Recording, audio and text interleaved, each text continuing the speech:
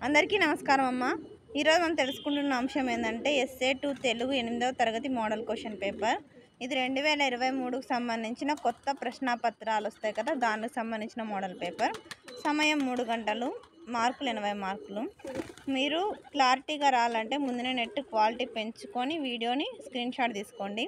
ఇక్కడ చూడండి క్రింది వాక్యాలు జాగ్రత్తగా చదివి తగిన జవాబులు బ్రాకెట్లో గుర్తించండి. ఇరవై ఐదు మార్కులు ఇరవై ఐదు ప్రశ్నలు ఇస్తారమ్మా ఒక్కదాని రెండు మార్కులు మొత్తం యాభై మార్కులు. నేను స్క్రోల్ చేస్తుంటాను. మీరు ఎక్కడికక్కడ స్క్రీన్ షాట్ తీసుకోండి అమ్మా.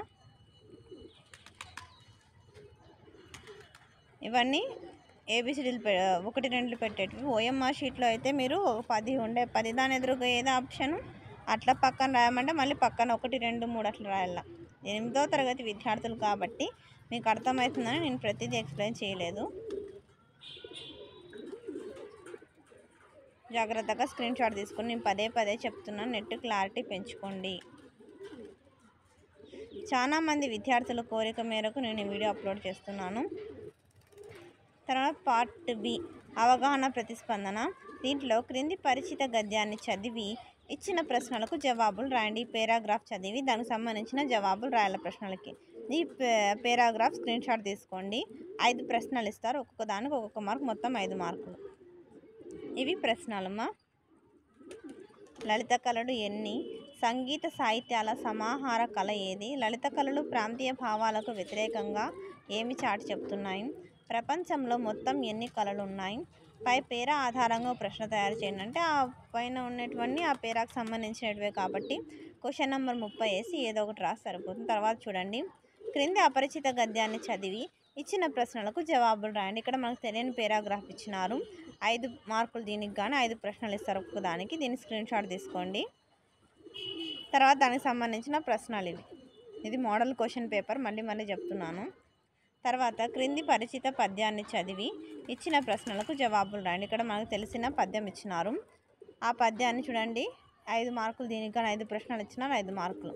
పై పద్యాన్ని ఆధారంగా ప్రశ్న తయారు చేయండి అంటే పైన ఉండేటివన్నీ ఆ పద్యానికి సంబంధించినటువంటి క్వశ్చన్ నెంబర్ వేసి రాయండి.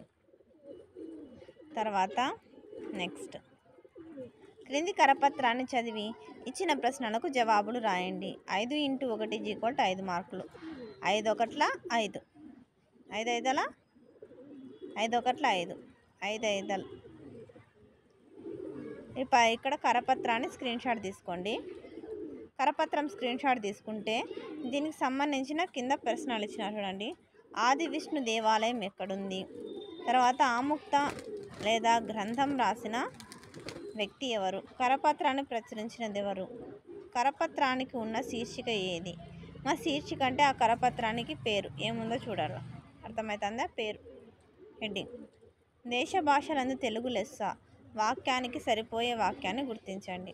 తర్వాత క్రింది క్రింద అడిగిన విధంగా సమాధానాలు రాయండి. క్రింద ఏవైతే అడిగినారో వాటికి అన్నిటికీ సమాధానాలు రాయలాం ఒక్కొక్క దానికి ఒక్కొక్క మార్క్.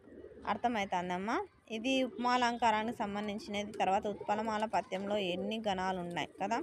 ఎన్ని గణాలు ఉన్నాయో రాయల్లాం నిషేధార్థక వాక్యం అంటే ఈ పని చెయ్యొద్దు అని నిషేధించేది. గజల్ ప్రక్రియని గురించి వాక్యం రాయండి. గజల్ ప్రక్రియ ఉర్దూ సాహిత్యం నుండి వచ్చినది. అది కదా? దశావతారాల్లో ఐదవ అవతార అవతారం పేరు రాయండి. శ్రీ మహావిష్ణువు యొక్క దశావతారాల్లో ఐదవ అవతారం ఏందో దాని పేరు. చిన్న చిన్నదే. ఒక పదంలోనే ఉంటాయి ఆన్సర్లు. అందరికీ ధన్యవాదాలమ్మా. ఇంకా మన ఛానల్ సబ్స్క్రైబ్ చేసుకొని వాళ్ళు ఎవరైనా సబ్స్క్రైబ్ చేసుకొని లైక్ చేసి షేర్ చేసి మీ ఫ్రెండ్స్కి రిలేటివ్స్ అందరూ సబ్స్క్రైబ్ చేసుకోమని చెప్పండి. దయచేసి వీడియోని మాత్రం స్కిప్ చేయదు. అందరికీ ధన్యవాదాలు.